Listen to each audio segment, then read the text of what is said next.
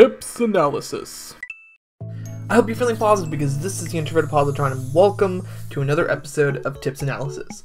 So today we have some interesting stuff to talk about. Um, so it's the start of 2018, it's um, brand new year for gaming, for this channel, for um, Nintendo in particular, which is of course the topic because that's usually the topic for me right now. Um, and of course, with the start of 2018, we have an imminent Nintendo Direct that Nintendo seems to be quite maniacal about right now. But uh, for the moment, anyway, uh, we don't know when it's going to come, and that that's not really the focus anyway. Um, what I want to do is I want to take a shot and see if I can predict Nintendo's 2018. So I'm going to have fun with this. Um, of course, this is an analysis section of the channel, so I do have my reasons for thinking what I think, but this is totally predictions. There's no uh, inside knowledge or anything about this. This is just me taking a shot, mostly in the dark, and seeing if I can get a few things right. So we'll see what happens. But anyway, getting into it. So let's get some of the obvious stuff out of the way. Um, this year, we know we have uh, a Fire Emblem game, we know we have a Kirby game, and we know we have a Yoshi game coming hopefully the Yoshi and Kirby games both come this year and they don't get delayed. Um, what I'm thinking for that is that we'll see um, probably Kirby would be my guess in the spring, Yoshi either uh, late spring or early summer, and Fire Emblem probably at the end of the summer would be my guess. Um, for those things, so those are the way. Obviously, we're getting Bayonetta 1 and 2 next month and stuff like that. Uh, the fact that Bayonetta 1 and 2 are releasing this year makes me think that um, Bayonetta 3 probably won't be released until next year. Uh, but outside of those things, let's actually get into the meat of it. So, um, the two games most people, of course, are excited for are Fire Emblem.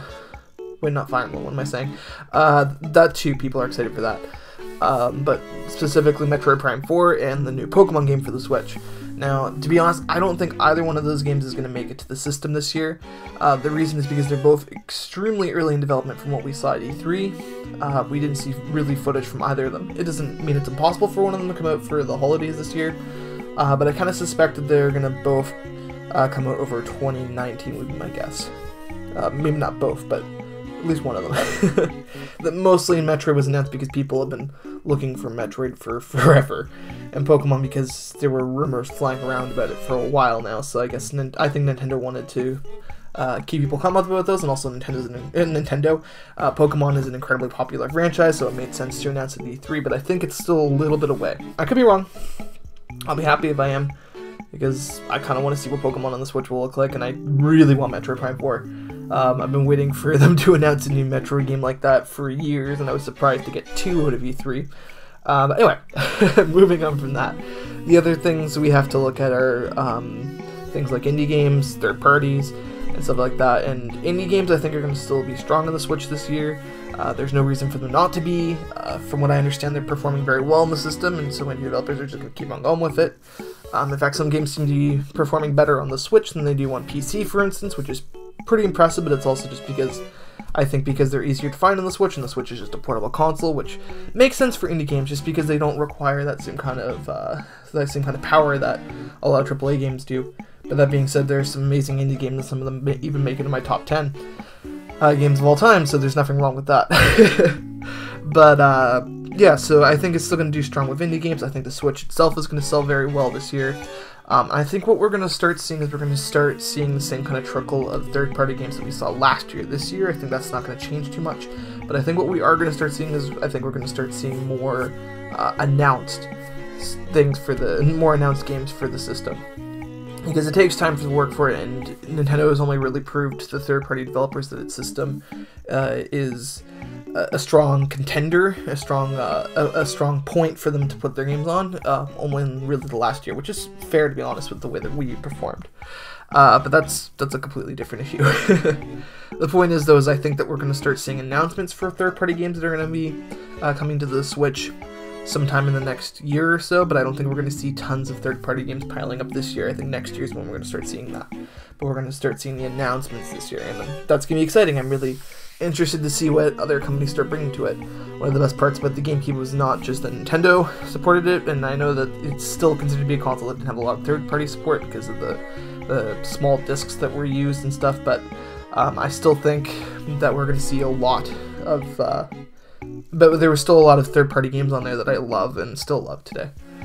Um, anyway, so those things I think are going to be pretty set in stone in terms of what they're going to be. And yes, this is going to be a quick video because there's not a lot that I really have enough knowledge about to talk about at a at a huge like extent because I'm not incredibly knowledgeable in these things. But I know Nintendo for long enough to predict some patterns, so hopefully I'm right on a few of these things. Anyway, that's not it though. Um, the last thing is surprises.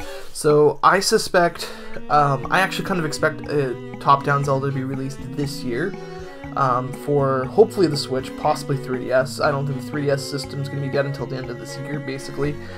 Um, just because it's been a little while, I know that we had Triforce Heroes since Link Between Worlds, but Triforce Heroes used a lot of A Link Between Worlds assets, so it was kind of a quick game to make, and uh, I think that they've been working on a larger project for a top-down Zelda, and I'd love to see it on the Switch, uh, but I kind of suspect it might come out for the 3DS. But I do expect top-down Zelda to come out this year or not be come out, but to at least be announced this year, possibly come out this year.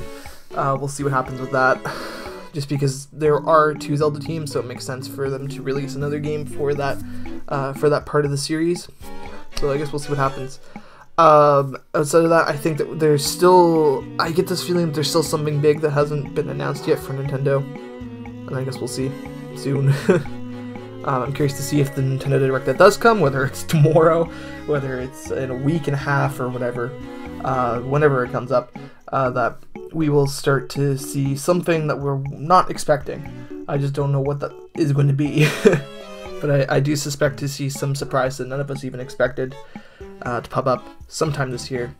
Um, and then we'll see if that comes out this year, if it comes out next year. I'm expecting something for this year. We'll see what happens. Anyway. And that's it for that. uh, hopefully that Nintendo Direct comes out soon.